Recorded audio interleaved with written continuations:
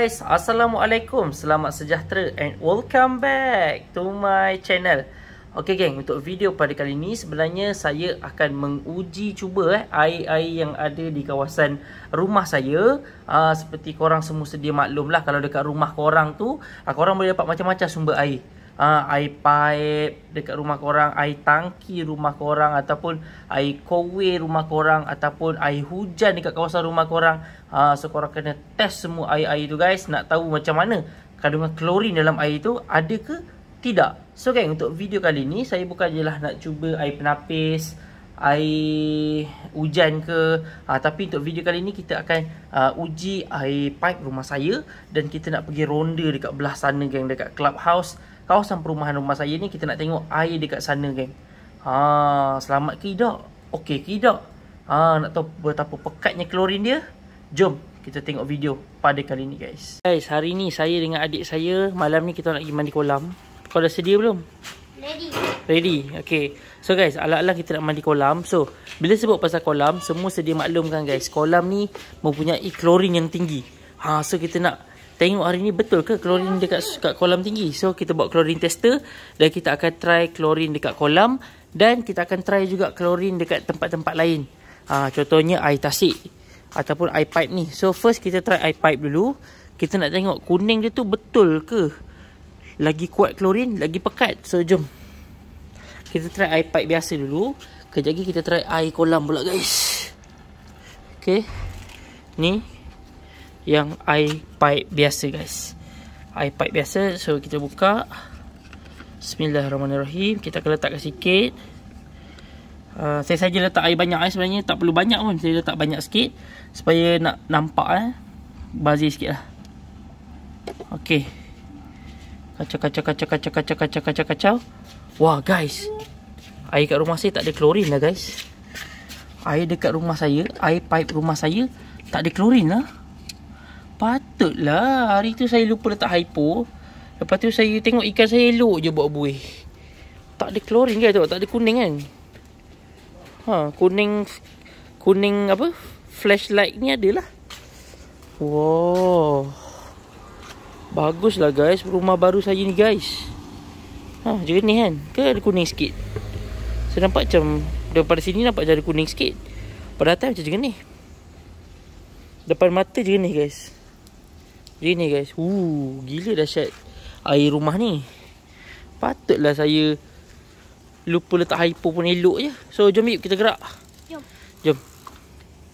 Bagus-bagus-bagus air kat sini premium. tak adalah saya susah-susah fikir nak set up air apa semua. Air tu kan saya saya kan selalu tukar air letak dalam tong. Lepas tu saya letak hypo. Lepas tu satu hari tu saya lupa letak hypo. Lepas tu saya tak check pun. Esoknya bos saya teringat Eh aku tak letak hypo lah. Lepas tu Cek-cek Eh buih banyak apa semua kan.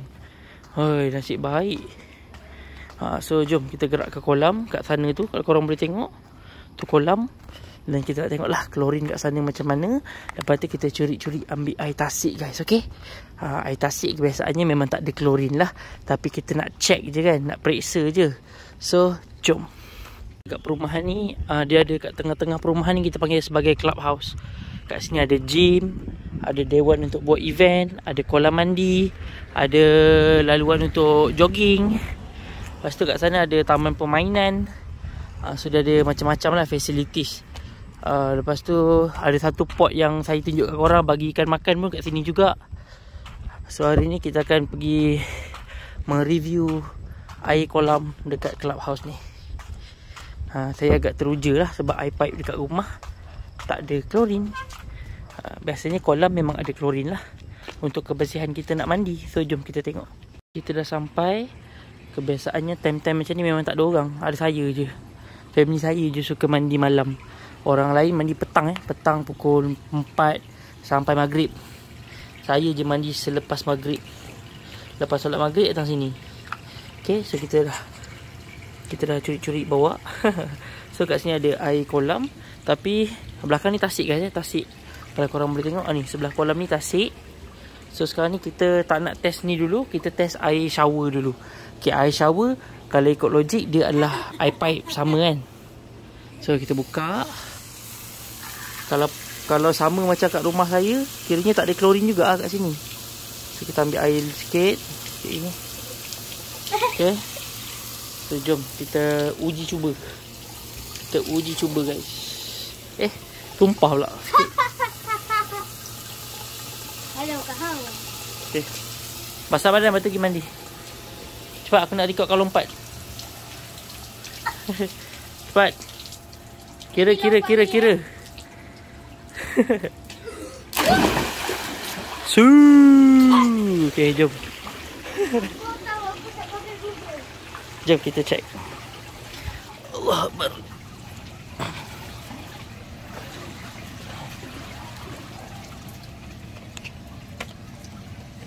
Lupa Google.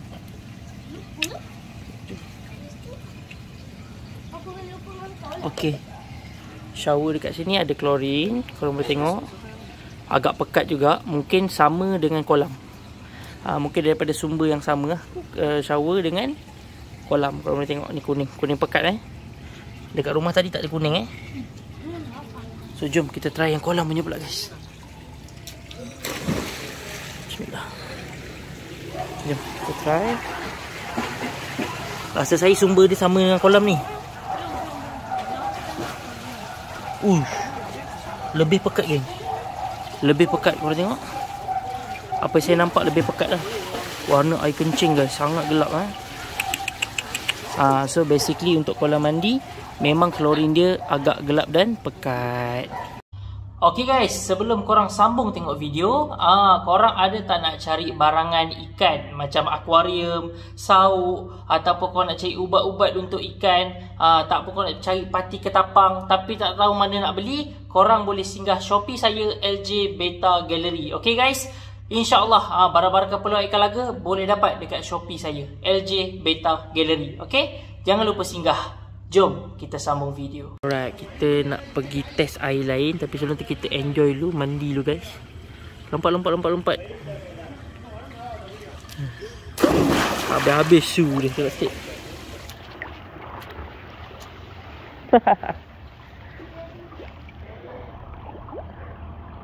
Kau nak lemas ke? Hmm? Nak lemas ke? Kat bawah?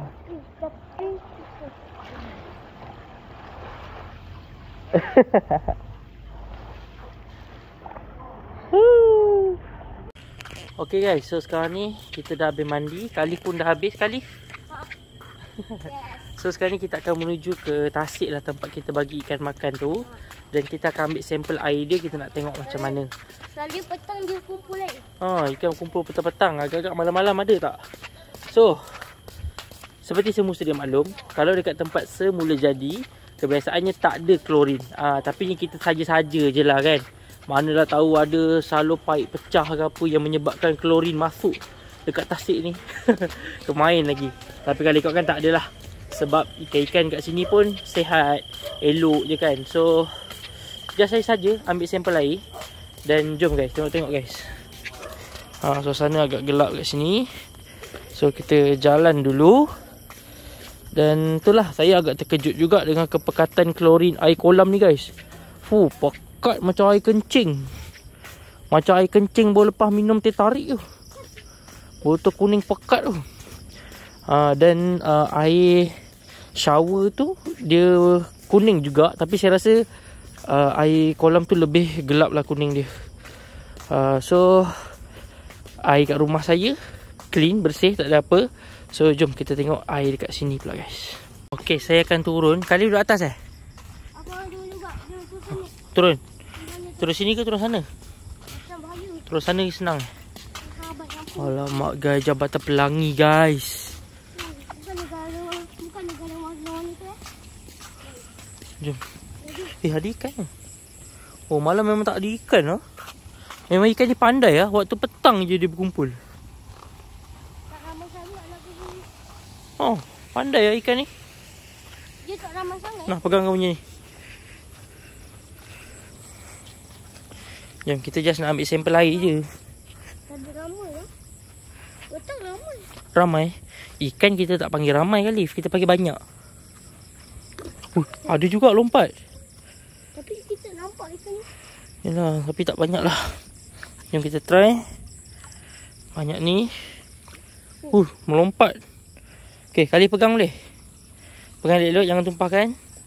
So kita nak try guys. Kita try terus. Dia minum? Bukan minum.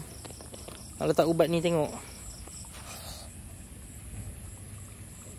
Air kencing kan tu? Okay, kau goncang sikit.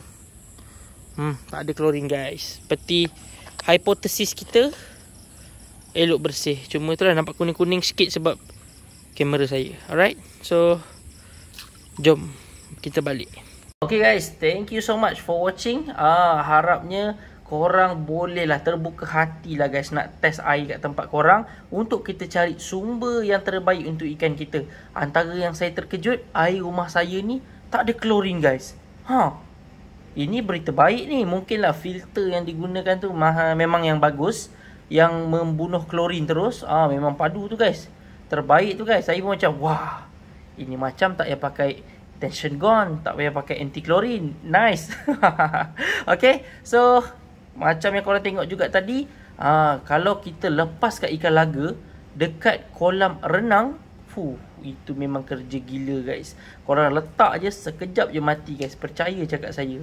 Ha, sebab kandungan klorin yang terlalu tinggi akan mengganggu pernafasan, respirasi ikan tu guys. Dan memang akan cepat mati. Ha, so hati-hati dalam kita nak menjaga ikan ni. Jaga air dulu. Check air dulu.